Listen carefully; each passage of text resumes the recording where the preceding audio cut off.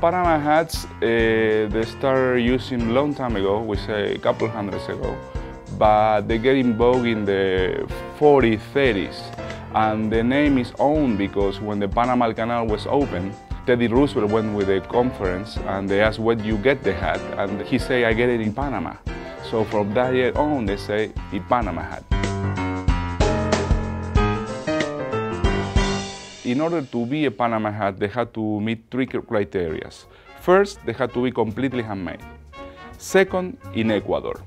Third, uh, from a specific kind of palm they call toquilla palm. They grows only in Ecuador because it's an organic material, non-nylon is, is on the hat. So for this kind of weather, which is warm and humid, you feel very fresh and you exchange air, evaporating the sweat.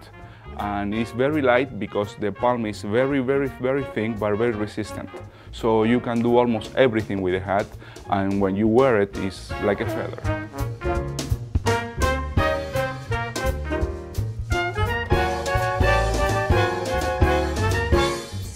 Do you find you have people come into the shop having one idea of the kind of hat they want and then they leave with a completely different? Like Yes, like 200 times a day. What is 200 times a day? At least. Because you're the expert, you're like, just trust me, trust me. Yes, what happened right now, uh, since uh, Britney Spears get this hat, everybody want it. But big guys, uh, broad shoulders, so they don't look good on it. So and even the guys want to look like Britney Spears? Yes, yes. because what happened, I always say, is a woman too can take over a man hat, but not the other way around. Okay, what do you think? Looks great. Oh, perfect answer. Yes, I like you, Gustavo.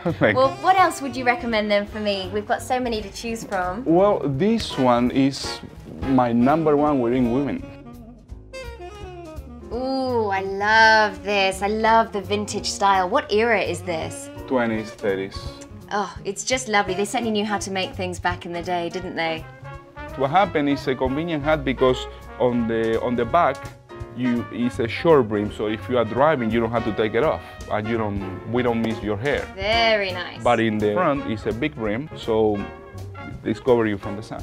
Well, I love how hats have changed over the years to adapt certain lifestyles. Mm. So what would you say have been some of the biggest changes with the styles?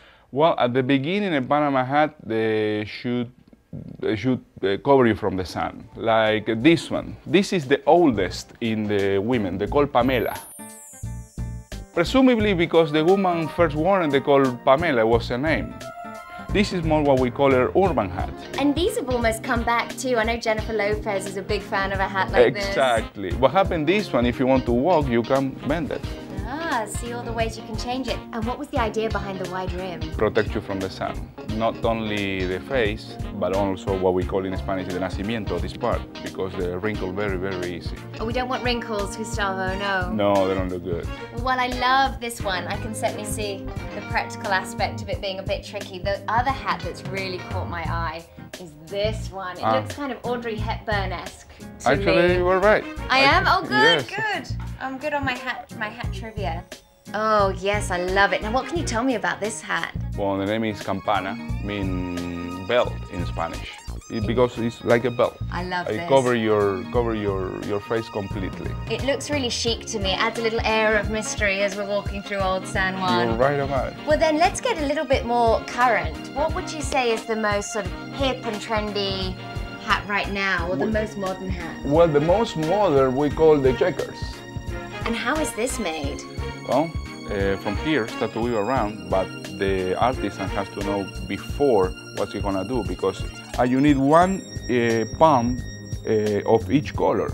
So you have to know the, the pattern already. The, the, they have to be very skillful. So they would design the pattern ahead of time and then start to make it? Absolutely, yes. Well, the attention to detail is pretty incredible. Well, and I love that it makes the hat really unique.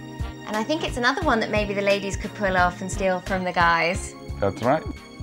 Oh, great.